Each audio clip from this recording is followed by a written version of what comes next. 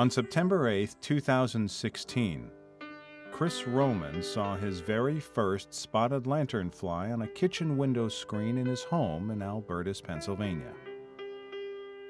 Three years later, to the day, on September 8, 2019, just three miles away, Chris would take command of the 96th Crescent Division in Breinigsville, fighting an invasion of spotted lanternflies and what would be known as the Second Battle of Trexler Field. The Lehigh County spotted lanternfly invasion from the late spring until the first fall frost of 2019 was where some of the most brutal fighting had taken place.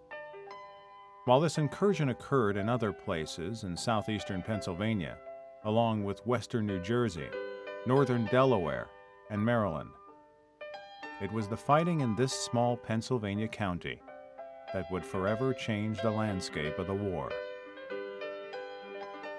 Battles ensued not just in the bigger cities like Allentown or Emmaus or Macungie, but in the small villages and towns like Allen Junction, Robb's Mills, Trout Creek, and Williamstown.